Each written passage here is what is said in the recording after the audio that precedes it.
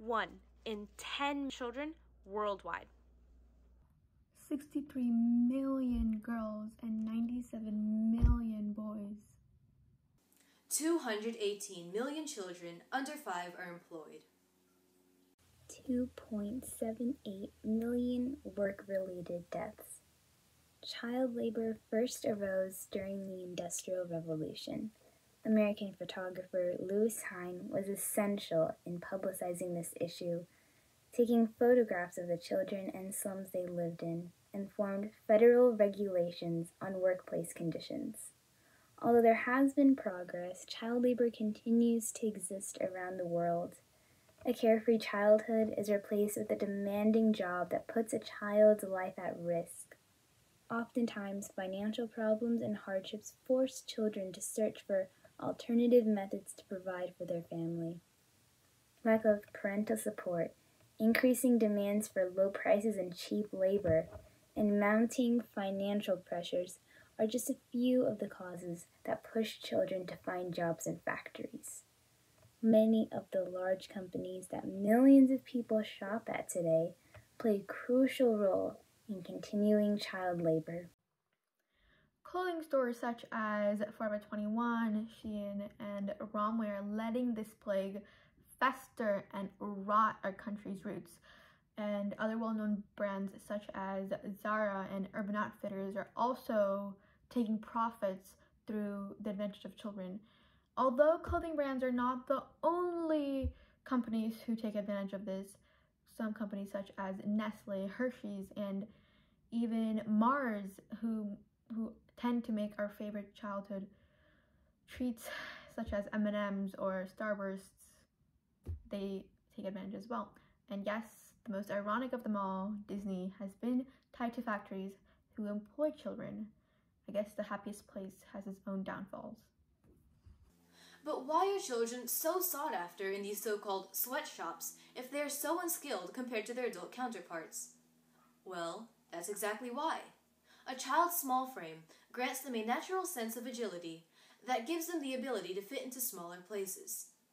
Their small bodies allow more of them to be packed into a factory. Additionally, factory owners typically give children methodical tasks that do not require any prior skill.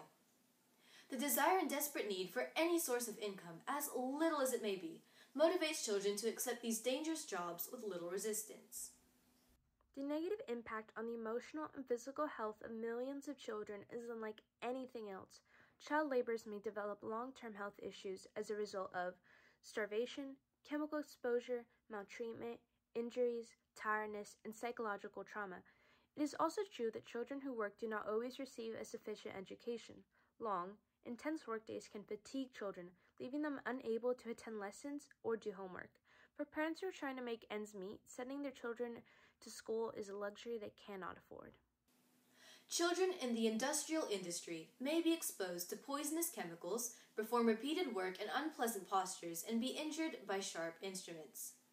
Children who work in domestic service face maltreatment, work long hours, and are frequently isolated from their relatives and friends. The first step in ending child labor is educating yourself about child labor and where it's found.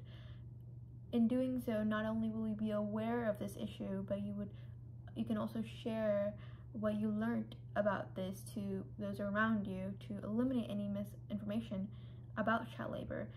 Additionally, you can also avoid going to these stores that promote child labor or employ ch children for their own benefits. Also, you can um, donate to nonprofits and NGOs such as the Global March who are working to end this problem. And as a school and a community, we can write emails and letters to these companies to ask them to consider employing children for their own benefit. This issue isn't going to be resolved overnight. Reform must be implemented progressively and continuously. It is especially terrible to force children to work in factories and put their lives in danger at any age when they should be leading a worry free and carefree life. Lewis Hine, should he have known of the child labor conditions today, would be appalled by the lack of progression achieved so many decades after his fight to bring awareness and an end to child labor.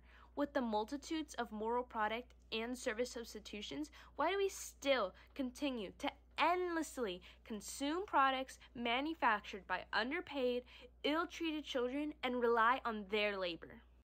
Do your research. Find small businesses or lesser known companies that can trace their products back to moral means of production. You can help improve the lives of these children and their families by simply withholding your support from these exploitative companies, which in turn promotes businesses with better pay and working conditions to, at the very least, give these kids better opportunities.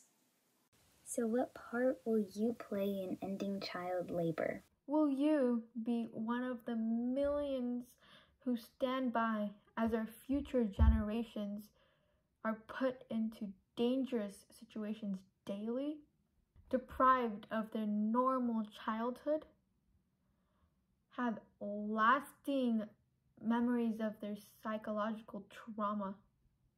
Or will you try and make the change that we are in desperate need of?